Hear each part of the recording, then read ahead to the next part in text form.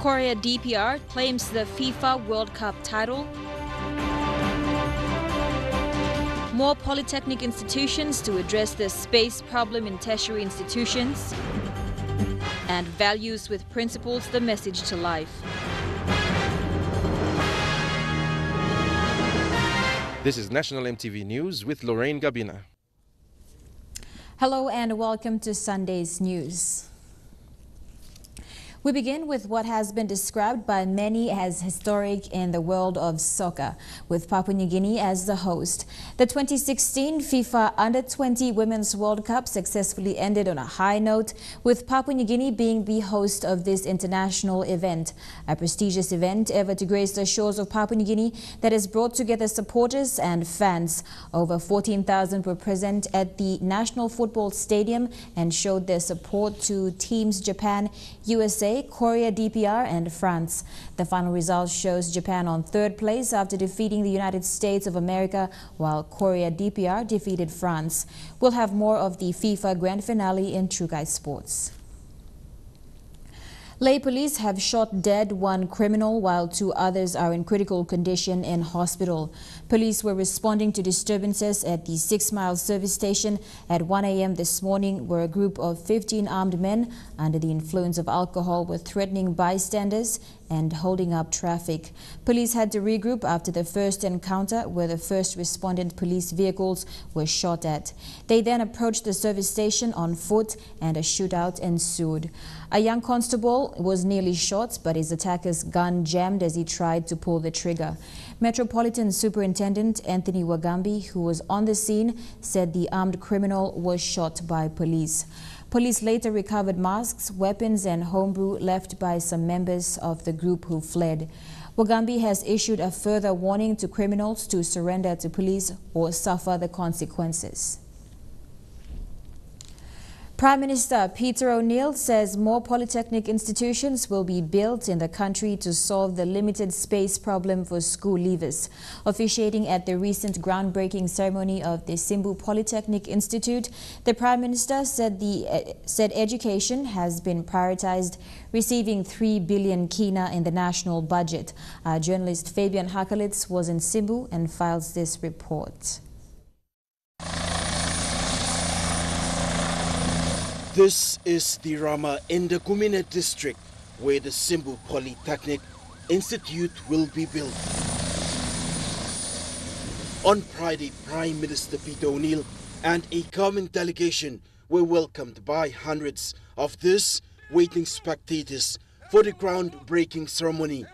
Provincial Governor Noah Kool, while welcoming the Prime Minister and the delegation, also thanked the national government for choosing Simbu You know mistake. I'm come to bless blum blum bless away.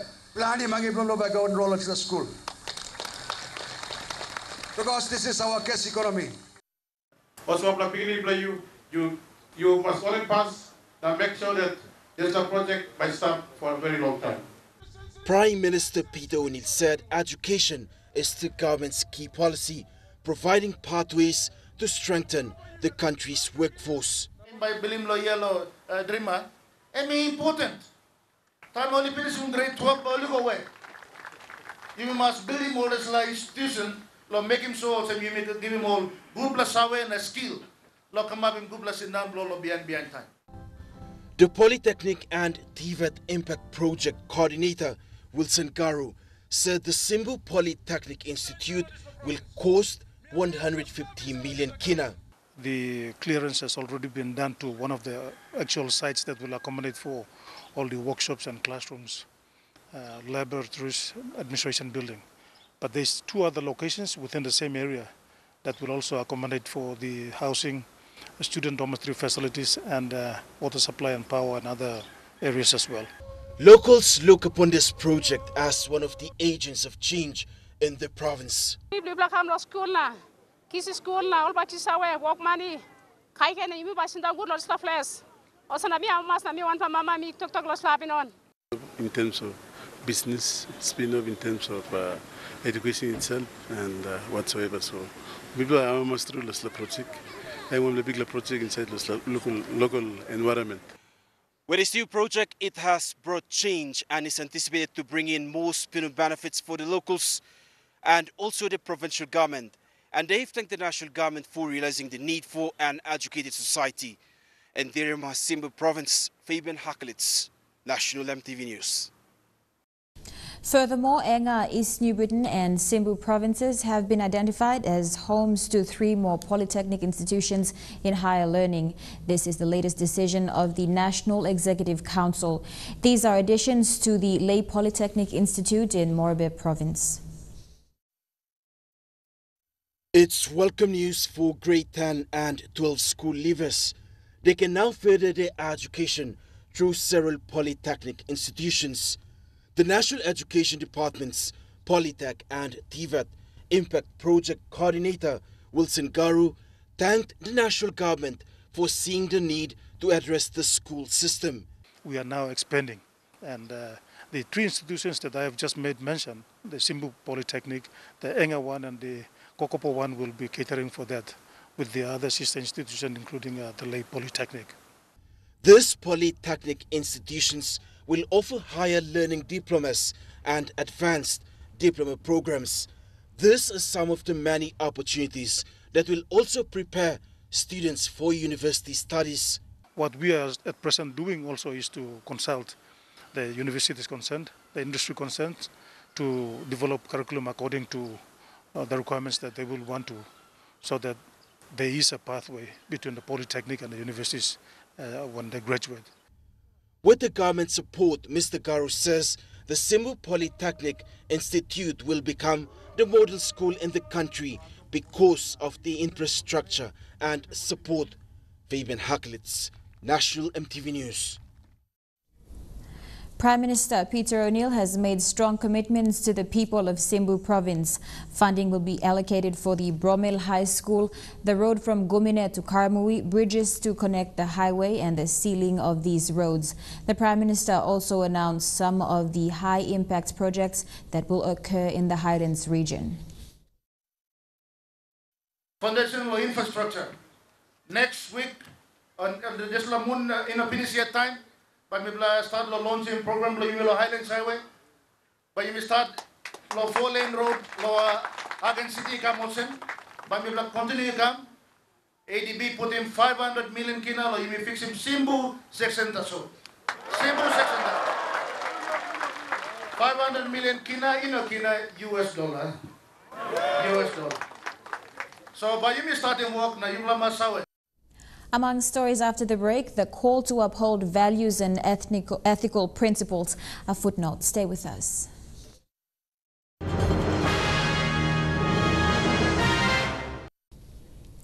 Welcome back to National MTV News. Values with moral principles are the compass of life.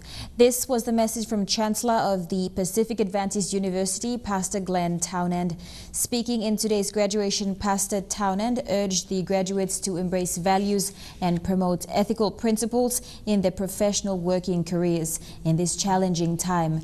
The graduation saw over 100 students graduating with flying colors in various disciplines at its Koiari Park campus outside of Port Moresby. Despite the unbearable heat, parents, relatives and friends of the graduates flocked to the university chapel to witness the graduation ceremony. The 2016 graduating class saw a total of 194 students who attained degree and postgraduate certificates in various schools and disciplines, Bachelors of Arts, Business, Education, Nursing and Science. Academic awards were given to top students in each discipline. Chancellor Pastor Glenn Townend speaking during the graduation urged graduates to embrace church values and principles in their professional working careers. The final word of acknowledgement by President Willie Camp thanked all university staff who have contributed one way or the other in the university life. Pacific Adventist University was established in 1997 following an act of parliament and is run by the Seventh-day Adventist Church. It enrolled both national and international students from across the Pacific region. Eric Arupma, National MTV News. Students undergoing medical doctors training under Divine Word University's Bachelor of Medicine and Bachelor of Surgery or MBBS program will benefit from the two simulation rooms that will enhance their knowledge and skills in their career. The simulation rooms are nearing completion at the Madang campus and will be ready for use in the year 2016, 2017 rather, academic year. While infrastructure development is vital to enhance the MBBS program, two medical doctors teaching in DW's Medicine and Health Sciences faculty, Drs. Harry I. Gilang and John Benjamin, returned from a fact-finding mission at the Cabrini Hospital in Melbourne, Australia, where they studied how the simulation room is used. Both doctors said their visit was fruitful as they saw how the simulation room is used for training medical doctors. This will help with the configuration and preparation for the use. Simulation is a very powerful tool and a new trend in assisting medical training around the world, where learning takes place in specially designed rooms. Dean of the Faculty of Medicine and Health Sciences, Dr. Clement Malau, said DW's MBBS program focused on training rural doctors. Last Friday, National Planning Department's First Assistant Secretary, Joshua Himina, led a team who visited the new building complex and were impressed with its progress. It will house lecture rooms, seminar rooms, two simulation rooms, and office for the faculty staff. In the meantime, the National Health Department approved DW to roll out the MBBS program, which means students will continue to second year with new intakes in the 2017 academic year. Fabian Hakelitz, National MTV News. There is a need for more funding for strategies and policies in addressing violence against women and sorcery-related violence. This is from the UN Women Executive Director, Dr. Phumzile Mlambo, who is in the country to support the United Nations 16 Day of Activism. The activities that have begun on November 25th and will end on December 6th, which is Human Rights Day. Equality uh, comes free. Actually, it needs investment, it needs resources, it is complex, and therefore um, governments need to have budgets, uh, and the budgets must be proportional to the size of the problem. So in a country like Papua New Guinea, where the problem is so big, clearly uh, the need for investing in this uh, area of work is significant. Aihi Vaki, the Secretary for the Implementation and Rural Development Department, has appealed to provincial administrations to submit all outstanding DSIP acquittals. He revealed that over 90 acquittals have not been submitted since 2013. The lack of acquittal submissions have resulted in a substantial amount of SIP grants being parked at the DIRD and has crippled the department's ability to effectively monitor and report development. And Trukai Sports is next. I'll be back with all the FIFA Under-20 Women's World Cup Grand Final updates. Stay with us.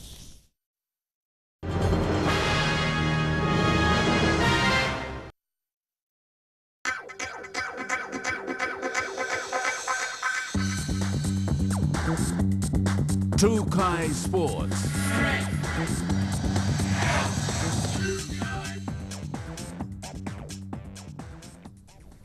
Welcome to Trukai Sports.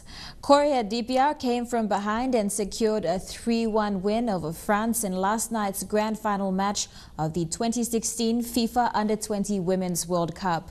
Korea DPR fought hard throughout the tournament and successfully defeated France, claiming the title for the second time after their first win in 2006.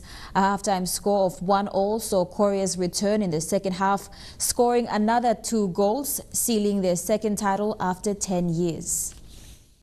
Meanwhile, Japan finished on the third spot after defeating the United States by one goal to nil yesterday. Substitute Mami Ueno's goal in the 87th minute led victory, crushing the United States. And to top off their successful final play yesterday's in a 1-0 win against USA for bronze, Japan's match-winning goal scorer Mami Ueno was awarded the Adidas Golden Boot. This came in recognition of her scoring prowess and in which she won with a match scoring average of three in the FIFA Under-20 Women's World Cup, Papua New Guinea. Fans and supporters were present at the Jacksons International Airport this morning to bid farewell to the four remaining teams with gifts from Papua New Guinea. 2016 World Cup champion Korea DPR was the last that have departed this afternoon. Runners-up France departed this morning, then followed by this morning, followed by Japan's Young Nadeshikos, and a humble USA also made a quiet exit. We'll have the weather details after the break. Stay with us. Kai Sports.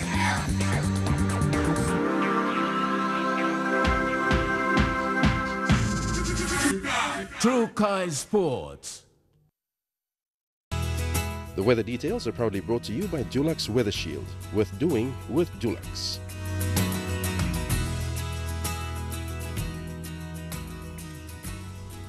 Taking a look at the weather forecast for tonight and tomorrow in the southern region, fine although cloudy at times in Port Moresby and mostly fine for Daru, Kerema, Alotau and Popondetta. In the Momase region, a shower or two for Lae and it's mostly fine in Madang, Wewak and Vanimo. In the New Guinea Islands, it's mostly fine for Kavieng, Kokopo, Rabaul, Kimbe and Buka and a shower or two for Lorengau. And in the highlands region, all centers expecting light showers then morning fog.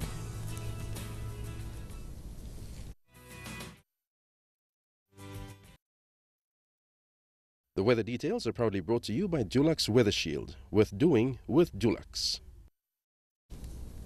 And that's the news, sports and weather for this Sunday, the 4th of December 2016. From the entire news team, I'm Lorraine Gabina. Pleasant viewing. Good night.